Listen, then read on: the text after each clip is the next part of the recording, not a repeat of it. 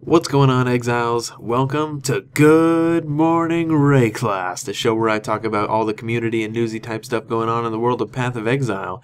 Today is Thursday, November 20th. My name is HC Monster, and although it's going to be a quick one, let's start the show. So, as you can imagine, since our schedule is still a little bit messed up and our last episode was yesterday, not a whole lot has happened, except we did get new teaser pictures of upcoming skill tree changes coming in patch 1.3, which is in fact pretty big news when because you know whenever the skill tree is changed it opens up a whole new world of possibilities regardless of whatever starting class you are and although we don't know very much because these are just teaser pictures we can at least figure out that the skill tree changes will affect the templar and the duelist positions which does make sense since these are the last characters on the list that need their areas to be updated and it is pretty nice to see them finally getting some love at the time of recording this, this news has just came out, but you better believe the community over at Reddit is already hard at work trying to figure out what these black notes could be.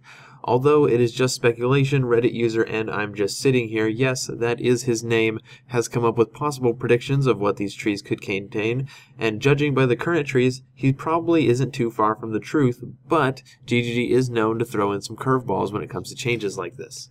We're going to go ahead and close the episode with a little bit of throwback Thursdayness. First up, we have a screenshot of what very well could be the oldest non developer character that still exists. Reddit user Xcentricity is clocking in at a whopping 1102 days, 1 hour 42 minutes, and 39 seconds, making that character just over 3 years old. And, you know, for all you PoE players that are relatively new compared to that, which is, you know, probably 99% of the community, and you're a little probably a little bit curious about what the game was like back then. Well, lead developer Chris Wilson has reminded us that this video exists showcasing what the game was like in 2011. The first thing you'll notice about the old version of the game is that the user interface looked quite different.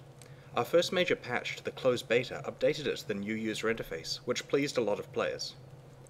And that's the show, ladies and gentlemen. I hope you did enjoy, even though it was rather short and not a whole lot of information was given out. But uh, come Monday, when we resume our regular schedule, everything will be. Uh, there should be enough time in between episodes to get just enough news for you guys to enjoy. My name is HC Monster, and as always, I'll see you next time.